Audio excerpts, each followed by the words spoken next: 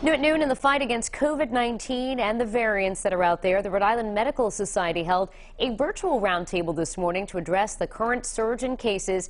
They say there has been a 189% increase in new COVID cases in the past week.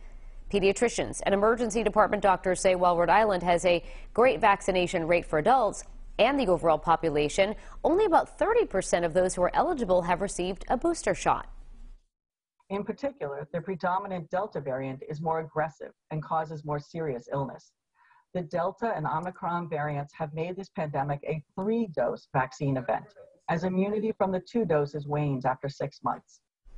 And doctors continue to urge people to get their booster shot when eligible and to receive a vaccine if they have not done so yet. They're also encouraging daily testing, mask wearing, and social distancing, especially as many of us are heading indoors for future holiday gatherings.